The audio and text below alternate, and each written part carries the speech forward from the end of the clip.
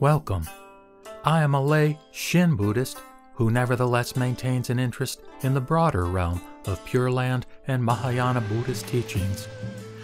My YouTube channel is called Acala Acala, that is A C A L A A C A L A.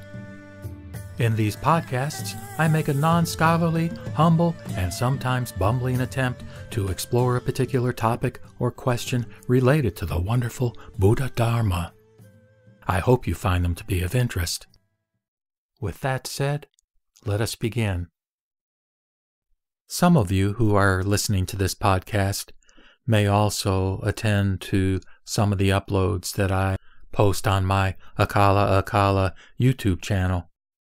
And if you are listening to some of the recent uploads, you know that I am uploading sections on an unabridged basis of the Shurangama Sutra, which I believe in Chinese they refer to as the Shurangama Sutra, and is highly revered in China.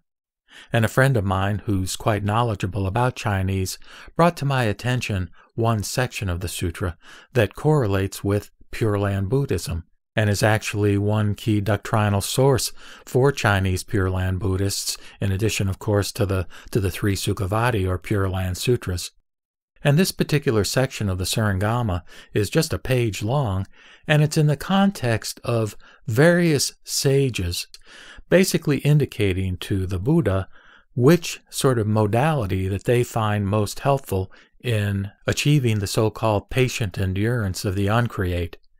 And just as a sidebar, I really have honed in on this phrase in various forms as being a way to encapsulate in a nutshell the essence of enlightenment. Again, the phrase is the patient endurance of the uncreate.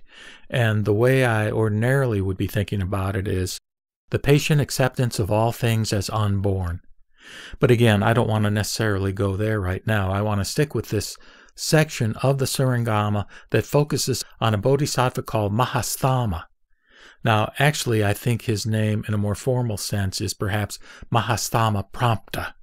And what makes him significant is that when we look at the iconography, in other words, looking at like paintings of Amida Buddha, we see, as are many Buddhas or most Buddhas, that Amida is flanked by two bodhisattvas.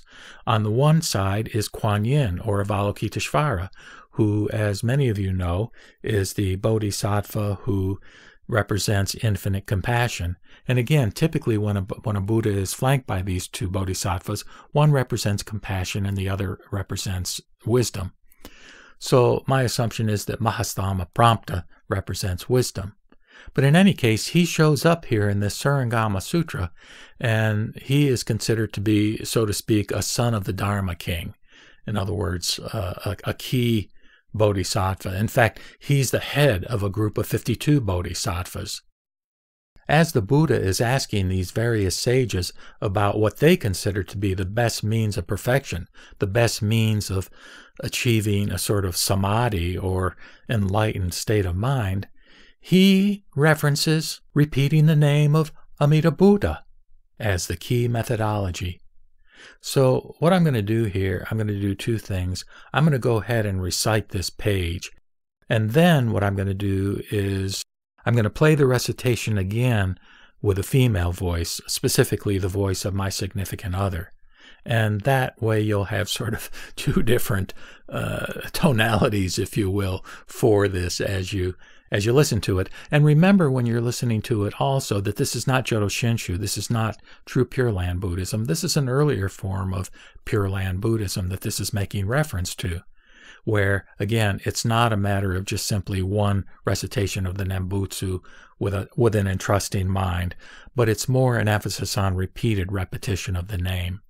But still, in the context of this podcast on exploring Pure Land Buddhism, I think it has great meaning and hopefully will be appreciated by some of you listening. So here we go. Mahasthama, a son of the Dharma king, who was the head of a group of 52 bodhisattvas, rose from his seat, prostrated himself with his head at the feet of the Buddha, and declared, I still remember that in the remotest of eons, countless as the sands of the Ganges, there was a Buddha called Amitabha, who was succeeded by eleven other Tathagatas in that Kalpa. The last one was called the Buddha whose light surpassed that of the sun and the moon. He taught me how to realize the state of samadhi by thinking exclusively of Amitabha Buddha. By way of illustration, if a person concentrates his mind on someone else while the latter always forgets him, both may meet and see, but without recognizing each other. However, if both are keen on thinking of each other, their keenness will grow from one incarnation to another until they become inseparable like a body and its shadow. The Tathagatas in the ten directions have compassion for all living beings and always think of them, like a mother who never ceases thinking of her son. If the son runs away, her thoughts of him will not help. But if he also thinks of her with the same keenness, they will not be separated in spite of the passing of transmigrations. If a living being remembers and thinks of the Buddha, he is bound to behold him in his present or future incarnation. He will not be far from the Buddha, and thus, without the aid of any other expedient, his mind will be opened. He is like a man whose body, perfumed by incense, gives out fragrance. Hence his name, one glorified by Buddha's fragrance and light. From my fundamental cause ground, and with all my thoughts concentrated on the Buddha, I achieved the patient endurance of the uncreate. This is why I help all living beings of this world to control their thoughts by repeating the Buddha's name so that they can reach the Pure Land. As the Buddha now asks about the best means of perfection, I hold that nothing can surpass the perfect control of the six senses with continuous pure thoughts in order to realize samadhi. So the goal here is the control of the senses the method, though, is an easy path type method, namely repeating the Buddha's name. And of course, he refers to Amitabha, which is the Buddha of infinite light. And light, I believe always, really represents wisdom, which is prajna or sunyata.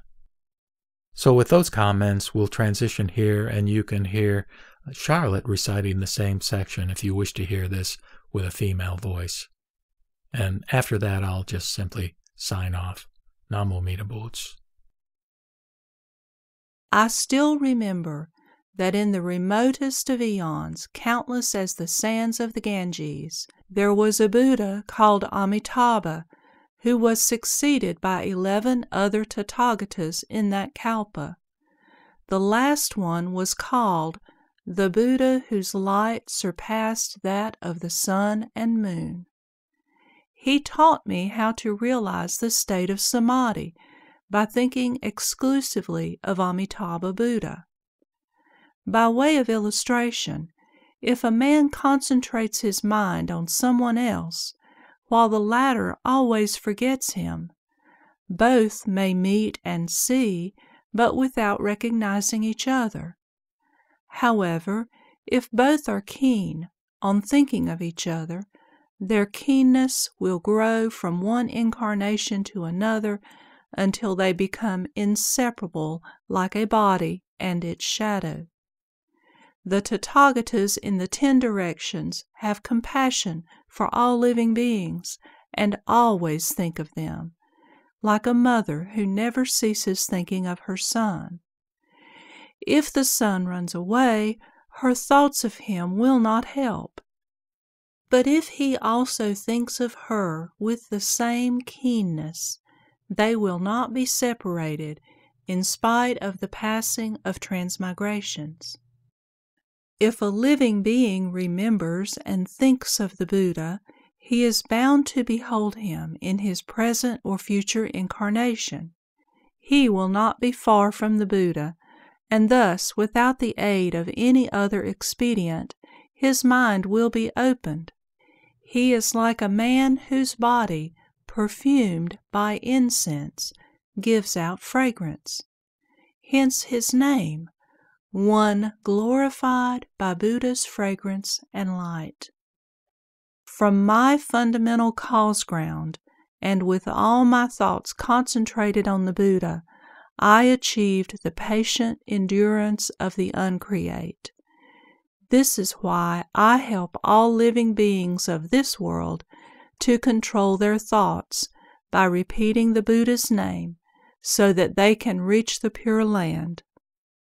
As the Buddha now asks about the best means of perfection, I hold that nothing can surpass the perfect control of the six senses with continuous pure thoughts in order to realize samadhi. With that, I will sign off by reciting the Nembutsu in gratitude for being embraced and accepted just as I am by Amida Buddha, never, never to be abandoned.